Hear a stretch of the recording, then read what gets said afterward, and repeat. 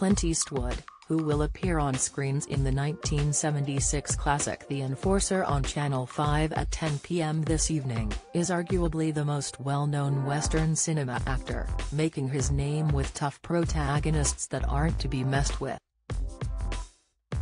However, before he picked up prominence as the cowboy anti-hero, Eastwood was allegedly challenged to a real duel by his co-star's husband in 1968.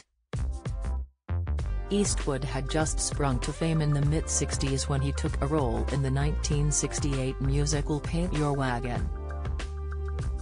Jean Seberg co-starred with Eastwood in the Gold Rush-era musical, with multiple reports from the time detailing the pair's passionate affair on set.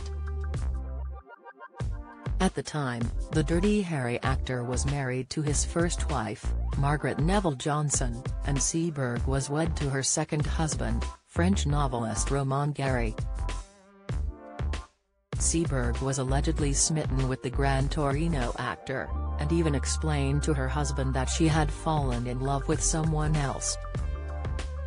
Karina Longworth, the host of Hollywood History podcast You Must Remember This, explained that once Gary figured out it was Eastwood his wife was besotted with he challenged the actor to a duel, although she did not mention what weapons he suggested. She spoke about the duel on the podcast, they never went through with it, and instead Romain left, and Jean called her publicist to confess she was madly in love with Clint Eastwood, and she needed help announcing she was getting a divorce.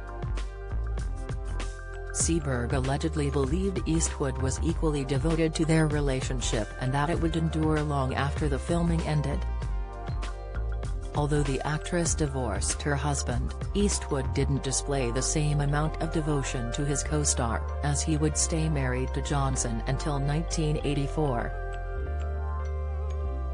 In fact, at the time Eastwood, now 92 years old, already had three children, two other mistresses and a reputation as a serial cheater. Eastwood's first widely reported affair took place just a year after he got married and resulted in his daughter Lori who was given up for adoption according to Eastwood biographer Patrick McGilligan. Stunt woman Roxanne Tunis also had a widely reported, 14-year-long relationship with the actor and fell pregnant with another daughter, Kimber, in 1964. Eastwood's first child with his wife, son Kyle, was born the same year as Paint Your Wagon. By the end of filming, the Million Dollar Baby actor moved on almost immediately, leaving Seberg heartbroken and traumatized.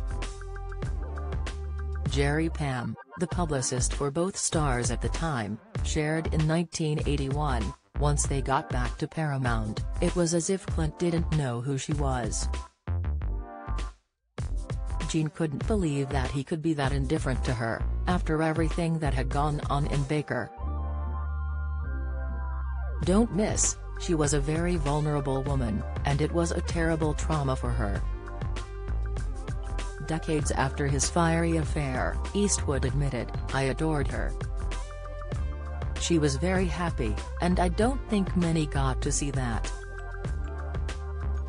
We spoke of family, friends, relationships. She played an important role in my life. The years following the release of Paint Your Wagon were not kind to the actress, as she found herself one of the most high-profile names under the careful watch of the FBI as part of the controversial program COINTELPRO due to her outspoken support for civil rights groups.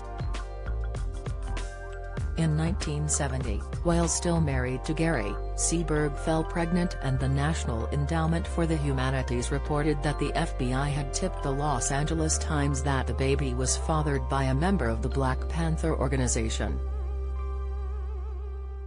The actress reportedly experienced such severe distress in the backlash of the published rumor that she went into premature labor and the baby girl was lost. A week after the child's death, Alistair Cooke claimed in his Letters from America broadcast that Seberg had used a glass coffin as a glaring proof that the baby was white. The actress' lifelong battle with depression was widely reported and in 1979, a few days after the ninth anniversary of her daughter's death, Seberg went missing in Paris. Her body was found on September 8 in her car, with her death being ruled a probable suicide, although countless conspiracy theories on what happened to the beloved actress have sprouted over the years. The Enforcer airs tonight on Channel 5 at 10 p.m.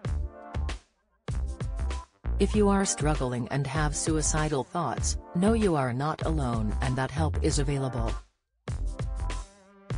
Please contact any one of the following. In the UK, you can call the Samaritans free on 116 123, the number will not appear on your telephone bill, or email joe at samaritans org. In America, the National Suicide Prevention Lifeline is a network of more than 160 crisis centers that provide a 24-hour-a-day service via a free hotline on 001-800-273-8255.